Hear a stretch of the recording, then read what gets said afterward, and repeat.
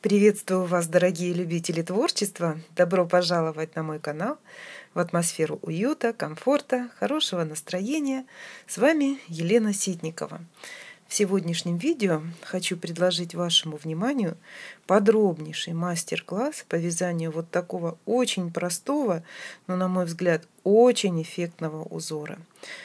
Сразу хочу сказать, что этот мастер-класс для начинающих. Продолжается серия мастер-классов для начинающих. Я поэтому делаю акцент именно а, на этом. И кому это интересно, оставайтесь, пожалуйста, со мной. Что хочу сказать об узоре. Узор просто шикарный, подходит для вязания из тонких ниточек. У меня в данный момент троицкая Алиса, вот такая вот красивая. А у этой ниточки метраж 300 метров на 100 граммов. Но посмотрите, узор не выглядит тоненьким.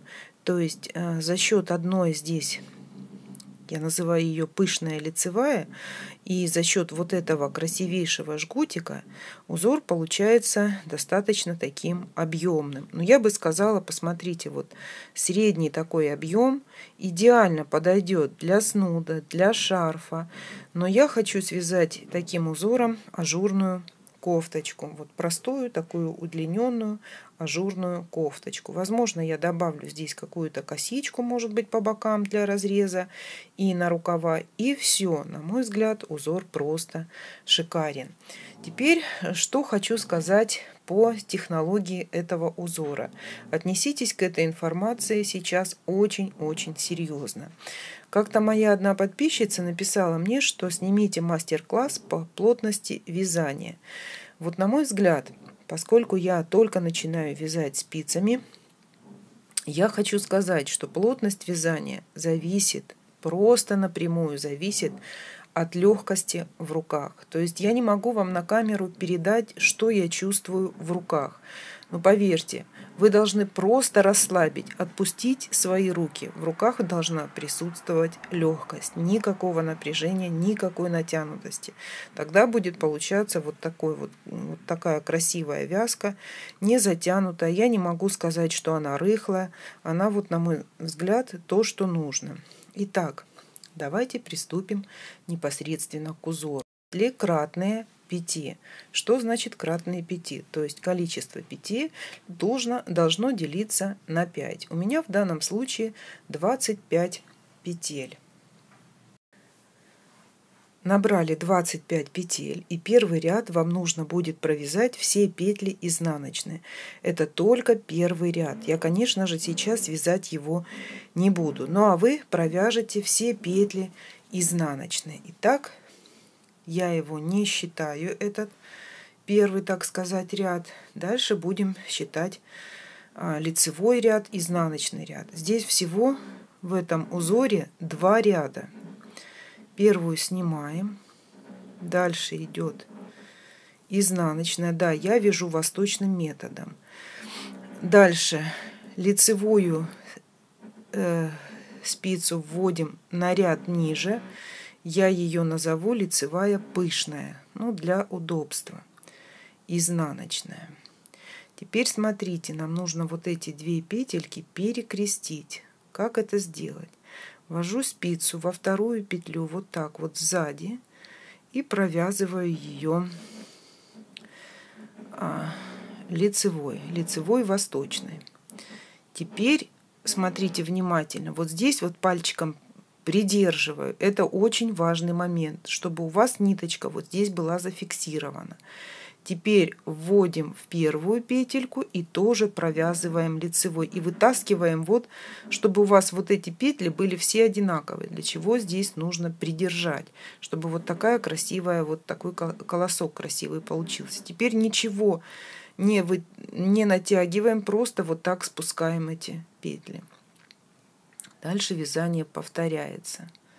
Очень просто, но нужно соблюдать а, ну, такой вот небольшие нюансики.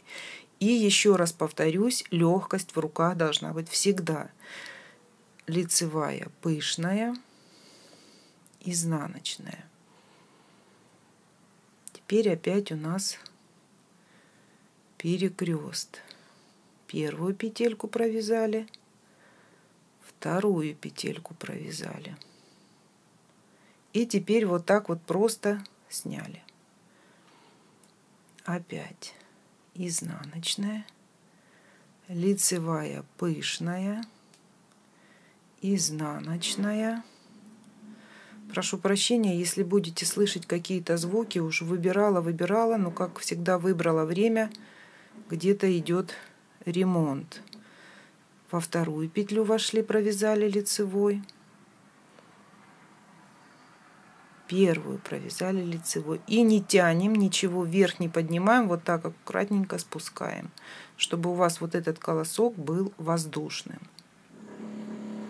Изнаночная, лицевая пышная, изнаночная скрещенная. То есть ввожу вот так сзади, провязываю лицевой, провязала. Теперь первую петельку провязываю, тоже лицевой восточной. Вот и все. Изнаночная, лицевая пышная, изнаночная и моя кромочная, которая с накидом. Я смотрю, что многим пришлась эта кромочная по душе. Пользуйтесь, я теперь только ее вяжу. Все, первый ряд лицевой мы провязали. Теперь вяжем изнаночный ряд. Здесь тоже небольшой нюансик есть. Первую с накидом я снимаю. Это моя кромочная и петли по рисунку. Здесь уже у нас нет никаких пышных лицевых, то есть лицевая обычная, как смотрят петли, изнаночная, лицевая. И теперь внимание, вот они эти две петельки, они у нас изнаночные, и нам нужно провязать их тоже скрещенными изнаночными. Как это сделать? Вхожу во вторую петлю, она здесь очень похожа на бабушкину, вытянули опять придерживаем вот здесь вот ниточку пальчиком. Теперь входим, смотрите, снизу. Снизу я вхожу, потому что метод восточный. Вот. Теперь вот так вот помогаю пальчиком. Еще раз. Вот так. И провязываю ее. Вот просто вот здесь вот придерживая. Сняла.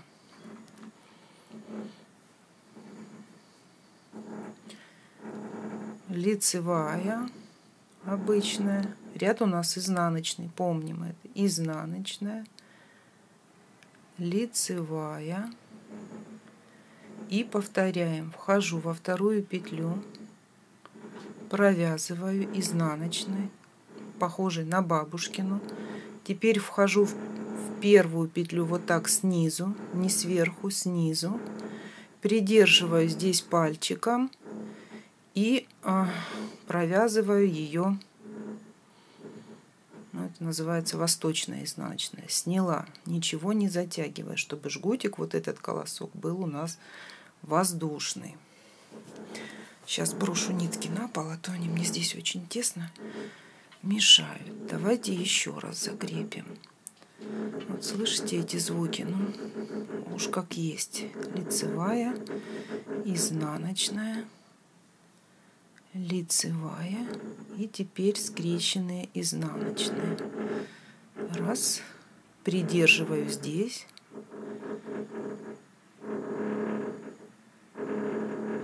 И вот так вот провязываю. Ничего сложного абсолютно нет. Только нужно помнить, что в изнаночном ряду все петли по рисунку без пышной лицевой, а в лицевом у нас присутствует одна пышная лицевая, которая провязывается по а, на ряд ниже. Так, раз. Вот так помогаем себе. Нам для этого и даны пальцы, чтобы мы ими работали. И снимаем опять лицевая, изнаночная, лицевая и моя кромочная. Вот, в принципе, и весь узор. Давайте еще раз свяжем один лицевой ряд, закрепим наш, наше знание, да, наш навык. Посмотрите, какая прелесть. Полотно просто мягкое, воздушное и из тонких ниточек придает просто очень шикарный объем. Я хочу, планирую вообще связать себе кофточку именно вот таким рисунком.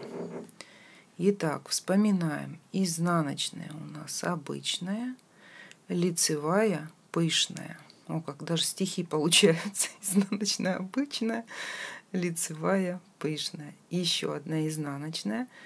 Теперь перекрещенная лицевая. Раз. И кушка у меня кричит где-то, и сверху рычат. В общем, время неудобное я выбрала. Так, сейчас, секунду.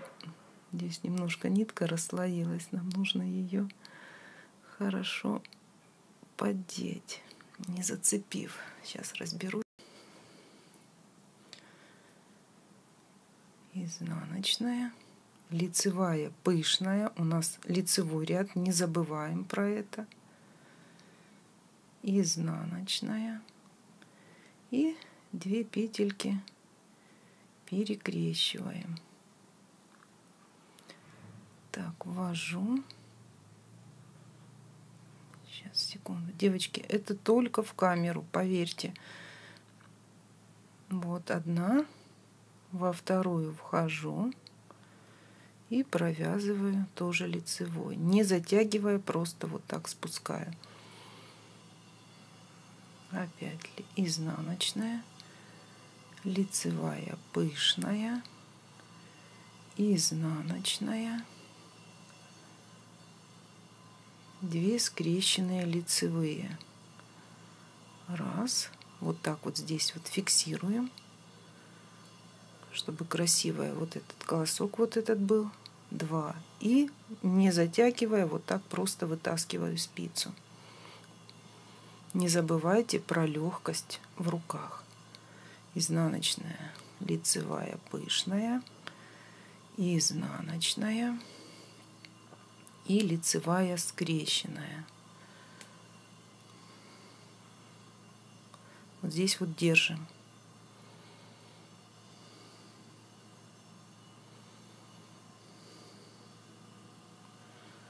Так, сейчас.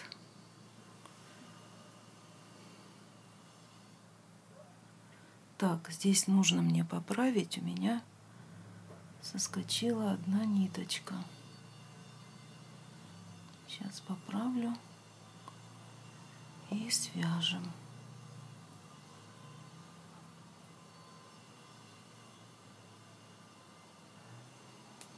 Так. И вторую провязываем лицевой. И все, две, можно сказать, изнаночная, лицевая пышная, изнаночная и кромочная.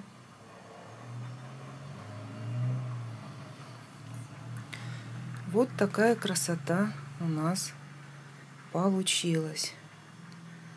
Мне очень нравится этот узор, просто очень нравится хочется связать прям свитерок. Возможно, добавлю сюда вот косы и на рукав.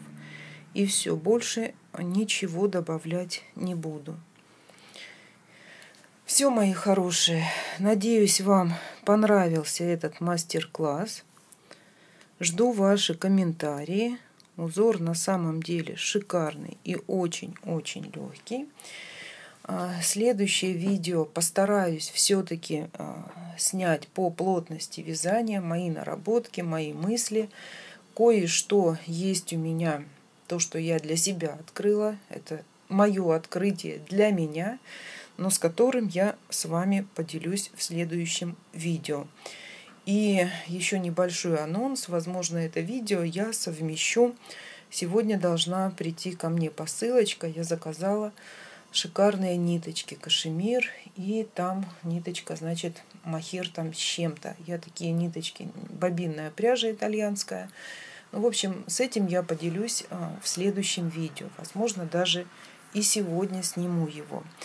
Все, мои хорошие, желаю всем творческих успехов. Бежите, творите, вытворяйте. Всех люблю и до новых встреч. С вами была Елена Ситникова. Пока-пока.